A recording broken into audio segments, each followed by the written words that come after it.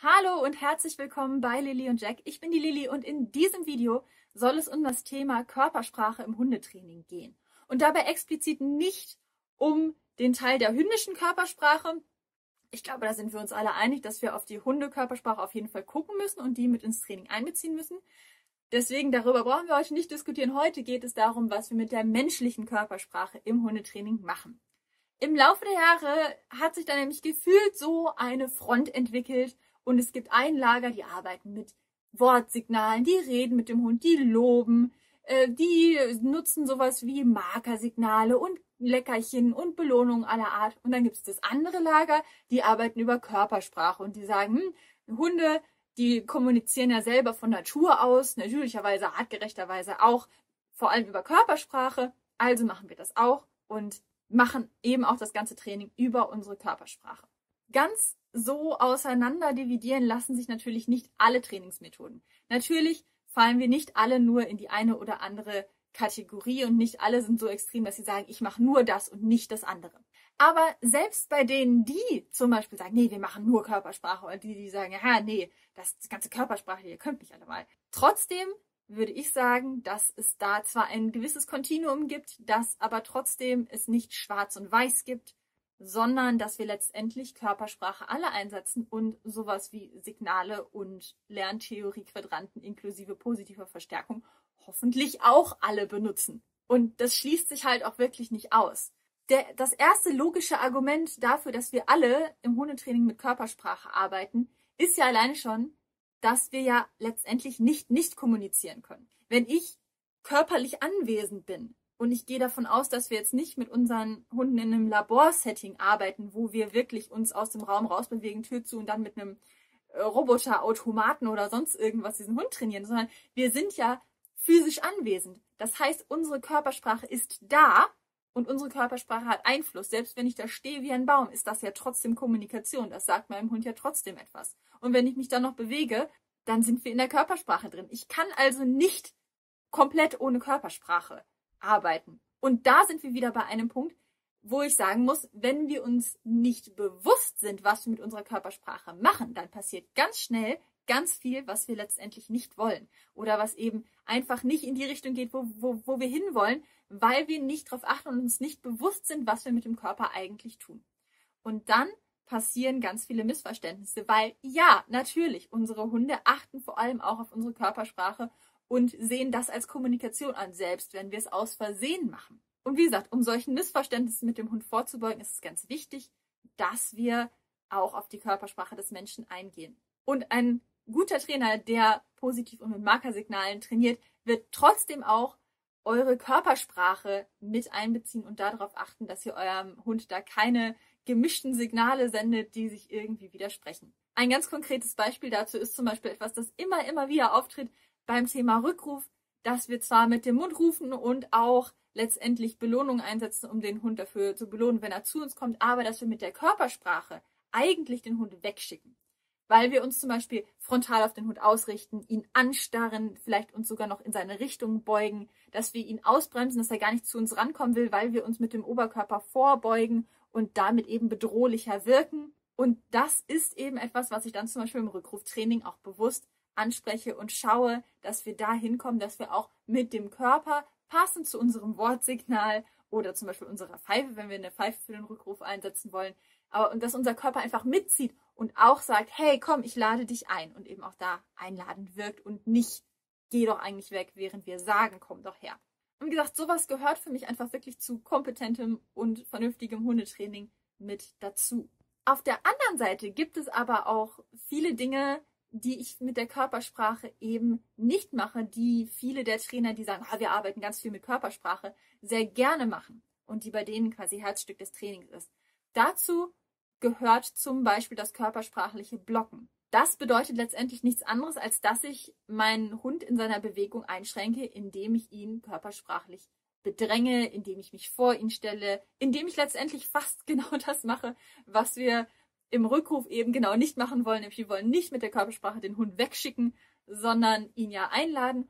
Und das wird letztendlich bei denen, die viel über Körpersprache arbeiten, recht häufig eingesetzt. Das sehe ich immer, immer wieder, dass es viel darum geht, dem Hund Grenzen zu setzen, dem Hund zu zeigen, ah, da sollst du jetzt nicht hingehen, das sollst du jetzt nicht machen, indem ich körpersprachlich auf ihn einwirke, auf ihn zugehe, einen forschen Schritt in seinen Weg mache, ihn wegdränge und ihn damit eben, wie gesagt, hemme, einschüchtere, wegdränge. Und das ist etwas, das ich persönlich in meinem Training bewusst nicht einsetze.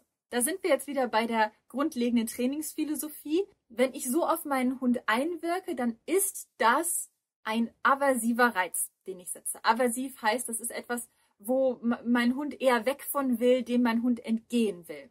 Das Training basiert in dem Moment ja einfach darauf, dass ich meinem Hund damit zeige, nee, lass das, geh weg egal in welchem Bereich wir da gerade sind, ob es darum geht, dass mein Hund irgendwo nicht hin soll, dass mein Hund nicht ausrasten soll, dass mein Hund vielleicht auch an lockerer Leine gehen soll oder in der Nähe bleiben soll oder auch einfach hinter mir bleiben soll. Wenn ich das über Körpersprache durchsetze, dann fällt das, wie gesagt, im Bereich aversives Training und das ist etwas, das ich so nicht haben möchte, denn ich möchte, dass mein Hund sich in meiner Anwesenheit wohlfühlt. Ich möchte, dass mein Hund gerne bei mir in der Nähe ist. Wenn ich solche Trainingsmethoden einsetze, dann führt das normalerweise dazu, dass mein Hund ja dann eher von mir weggetrieben wird. Das führt auch dazu, dass mein Hund sich eher schlecht fühlt und nicht so glücklich ist in dem Moment.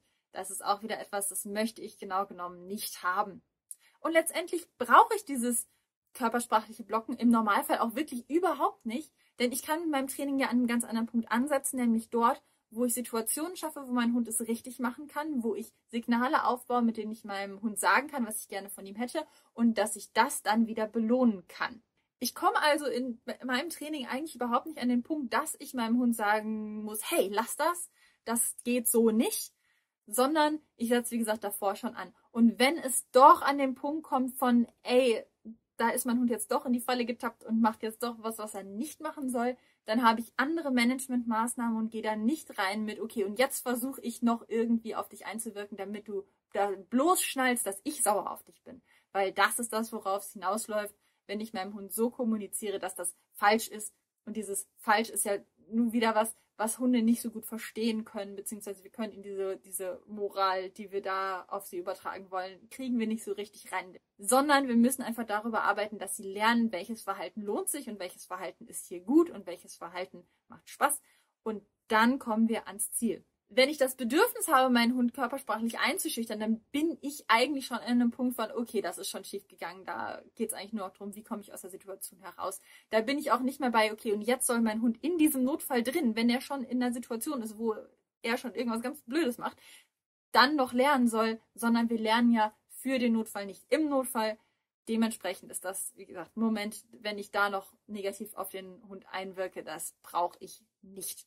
Hinzu kommt, dass dieses körpersprachliche Blocken und Einschränken und Hemmen wirklich extrem gut getimt sein muss, damit es gut funktioniert. Und das muss wirklich vom Gesamtpaket, vom Standing her, von der Ausdrucksstärke genau passen. Das muss von der Intensität genau zum Hund passen, damit das nicht den Hund komplett ängstigt, weil das ist normalerweise auch was, was die entsprechende Fraktion an Trainern ja auch nicht will. Also ich will ja nicht, dass mein Hund grundsätzlich Angst vor mir bekommt. Ich will da nicht zu heftig reingehen. Und gleichzeitig muss ich aber ja auch schon so stark reingehen, dass mein Hund auch eingeschüchtert genug ist, damit es funktioniert. Und diese Gratwanderung ist so extrem schwierig und es ist so schwer, da den Punkt zu treffen von so stark, dass es wirklich wirkt. Und nicht nur, um den Hund zu unterbrechen, sondern damit er lernt, dass er das nicht soll. Denn das ist ja letztendlich das Ziel. Weil wenn ich immer wieder und wieder und wieder und wieder mit diesem Blocken auf meinen Hund einwirken muss, dann läuft was falsch. Das ist kein Training. Das ist reines, ich muss einfach nur schaffen, meinen Hund zu unterbrechen. Da denke ich mir dann wieder, das kriege ich auch anders hin. Dazu brauche ich ihn jetzt nicht noch einschüchtern und dazu muss er nicht noch die Erfahrung machen, dass ich mit meiner Körpersprache sehr unfreundlich werde. Insofern, es ist einfach wahnsinnig schwer und da auch wieder, ich sehe es sehr oft, dass es schlecht umgesetzt wird und dass es nicht effizient ist, wenn es eingesetzt wird.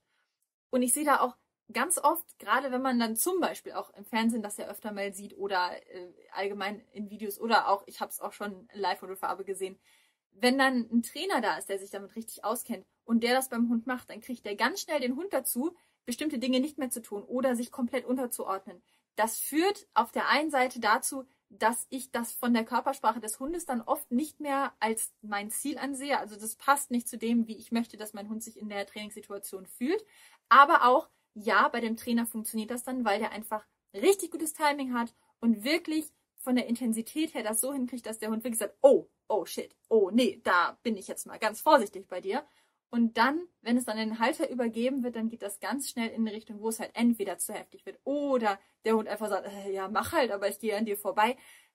Es ist ganz, ganz, ganz oft, dass das dann nicht mehr richtig funktioniert. Und ja, da kann man natürlich sagen, wir müssen das als Menschen lernen, aber müssen wir wirklich mit so einer unangenehmen Einwirkung auf den Hund experimentieren an unserem Hund, den wir als Partner in unserem Leben haben wollen und dann ihn einfach nur immer wieder falsch einschüchtern, nur weil wir es nicht besser hinkriegen.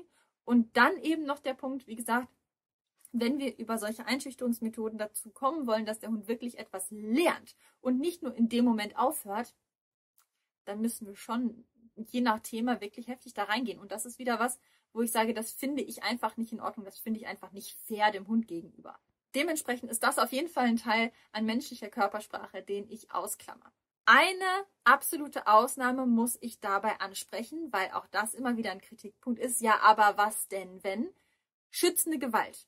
Natürlich, wenn ich an der Tür stehe und merke, ups, ich habe hier gerade das irgendwie ganz schlecht gemanagt und mein Hund würde jetzt an mir vorbei aus der Tür rausstürmen, natürlich stelle ich dann das Bein dazwischen und lasse meinen Hund nicht einfach rauslaufen.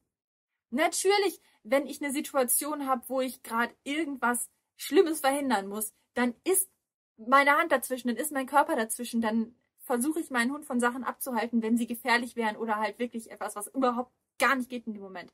Das ist aber absolutes Notfallmanagement. Das ist absolute schützende Gewalt und in dem Fall ist es okay, weil die andere Alternative einfach nichts zu machen, ist halt manchmal wirklich im Alltag, geht halt nicht.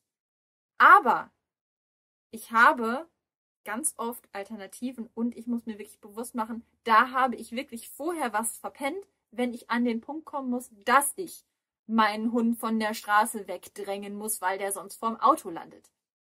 Es ist okay, wenn es leider so gekommen ist, dann meinen Hund körpersprachlich abzublocken und ihn aufzuhalten. Und dann überlege ich, warum das passiert ist. Und dann überlege ich, wie ich ihm beibringen kann, sich anders in der Situation zu verhalten. Und dann überlege ich, wie ich Management betreiben kann, damit das nicht wieder notwendig wird.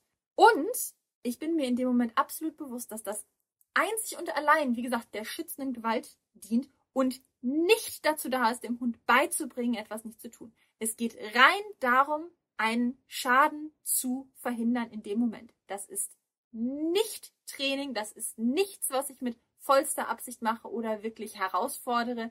Das hat mit Training genau genommen nichts zu tun. Aber eben, ich wollte es ansprechen, weil es immer wieder als Argument kommt. Ja, aber würdest du nicht, wenn? Natürlich. Aber es ist nicht Training. Das ist kein Training. Und letztendlich läuft es einfach immer wieder darauf hinaus, dass ich in meinem Training immer versuche, den freundlichsten, angenehmsten Weg für den Hund zu gehen und letztendlich auch für mich. Das spielt immer auch zusammen. Und es gibt ja so viele Möglichkeiten, dass für mich wirklich ein über Körpersprache einschränken wirklich im Training nicht notwendig ist. Und da achte ich auch sehr darauf, dass das auch nicht aus Versehen passiert, denn ich möchte mir meine Trainingseinheit nicht dadurch vergiften, dass ich aus Versehen meinen Hund einschüchter. Und je nach Hund ist das durchaus wichtig. Es gibt Hunde, die sind sehr robust. Es gibt Hunde, denen macht das nichts aus. Es gibt ja generell auch Hunde, die selber eher distanzlos sind und auch wenn man in die reinlatscht, ach ja, komm, ist nicht so schlimm. Wenn ich dem auf den Pfote trete, dann sagt er, hoch, okay, ja, pf, interessiert mich nicht. Aber es gibt ja auch Hunde, die wirklich sensibel sind. Und da habe ich selber einfach so ein Exemplar, den Jack, der wirklich sehr sensibel ist, wo ich am Anfang aufpassen musste, wenn ich dem Leckerchen zugeworfen habe und dafür einen Schritt auf ihn zugemacht habe, dass er selbst dann das schon als so bedrohlich empfunden hat, dass er dann Angst davor hatte. Und dann ist das natürlich keine Belohnung mehr. Noch ein Grund, warum ich auf meine Körpersprache achten muss. Und es gibt generell, es gibt einige Übungen, wo das passieren kann, dass ich, auch wenn ich es gut meine, auch wenn ich eigentlich äh, was mache, wo ich denke, ja komm, ne, ist halt so, ne? wenn ich meinen Hund anleine, muss ich mich ja irgendwie zu ihm runterbeugen. Achtet darauf, wie euer Hund auf eure Körpersprache reagiert. Und dann versucht es möglichst erstmal zu vermeiden, dass ihr euren Hund durch eure Körpersprache einschüchtert. Das ist auch ein Punkt, wo ich sehr auf Körpersprache achte. Und dann kann man natürlich auch gucken, je nachdem, was für eine Situation das ist, ob das vielleicht auch was ist, wo ich sagen muss, ja, okay, aber diese Art von Nähe oder diese Bewegung soll mein Hund im Laufe der Zeit kennenlernen, als es ist eigentlich nicht bedrohlich, da kannst du dich dran gewöhnen, beziehungsweise das können wir trainieren, dass das eigentlich sogar cool ist, wenn ne, sich jemand zu dir vorbeugt oder wenn ich an dich rangreife oder wenn ich mich zum Beispiel, für, um irgendwas am Geschirr zu richten oder sowas, über ihn drüber beuge. Das kann der Hund lernen, aber das mache ich dann kleinschrittig mit entsprechenden Belohnungen oder bei Sachen, die über Gewöhnung gehen, über Gewöhnung. Aber auch da wieder, ich muss mir bewusst sein, was ich mit meiner Körpersprache mache und ich versuche es zu vermeiden, dass mein Hund meine Körpersprache als aversiv, als unangenehm, als oh, davon will ich weg wahrnimmt, denn das ist einfach was, ich will es so in der Beziehung eigentlich zum Großteil einfach nicht haben und fürs Training ist es nicht notwendig. Ich sehe da wirklich keinen Grund für. Und andererseits, ja, Körpersprache ist wichtig, aber wenn ich versuchen würde, nur mit Körpersprache zu arbeiten, da nehme ich mir einfach so viele Möglichkeiten weg, die ich mir nicht wegnehmen muss. Warum soll ich nicht auch über Sprache und Wörter und Ausdruck und Geräusche zum Beispiel arbeiten? Warum nicht? Hunde können das. Außer ich habe jetzt einen Hund, der wirklich so taub ist, dass er das nicht hören kann. Dann muss ich mir was anderes überlegen. Aber selbst dann, ja, also man kann dann natürlich auch darüber diskutieren, sind Handzeichen Körpersprache oder ist das schon wieder irgendwas Signalmäßiges? Wo ist da die Grenze? Das ist ein bisschen schwierig zu definieren. Aber letztendlich, wie gesagt, also ist, für mich ist es nicht schwarz und weiß. Ich muss auf meine Körpersprache achten, aber ich nehme mir auch nicht alle anderen Maßnahmen nur, weil ich sage, ja, aber Hunde reden auch nicht mit uns. Sie können es aber verstehen, das funktioniert sehr gut und es ist ja auch für uns Menschen natürlich. Wenn ich jetzt in dieser Hund-Mensch-Beziehung einfach nur sage, es muss alles Hund, Hund, Hund, Hund, Hund, Hund sein, aber es gibt ja auch Sachen von Menschen, die ja auch funktionieren. Das ist ja, wir bringen ja auch unsere Hunde in die menschliche Gesellschaft und bringen ihnen solche unnatürlichen Dinge bei, wie an der Leine zu laufen. Und dann zu sagen, ja, aber weil Natur mache ich jetzt nicht auch Wortsignale, ergibt für mich nicht wirklich Sinn. Deswegen nutze ich Körpersprache so einladend wie möglich. Ich gucke mir an, wo ich möglicherweise aversiv, unangenehm mit der Körpersprache einwirke und schaue, wie ich die Situation entschärfen kann. Ich nutze kein körpersprachliches Blocken und Einschüchtern in meinem Training. Es ist nicht notwendig, es geht besser. Deswegen, nope. Im absoluten Notfall ja, aber es ist nur reine schützende Gewalt und sonst nichts. Und es gibt auch noch ganz viele andere Sachen, die ich beachten kann und die ich nutzen kann im Training. Und es ist nicht nur Körpersprache, denn warum? Ich hoffe, das macht äh, für dich auch nochmal das Thema menschliche Körpersprache im Hundetraining ein bisschen klarer und zeigt auch nochmal, wie meine persönliche Einstellung dazu ist und was du bei mir im Training und in den Videos hier erwarten kannst, wie ich damit umgehe. Ich danke dir fürs Zuschauen und ich hoffe, wir sehen uns im nächsten Video wieder. Bis dahin, ciao.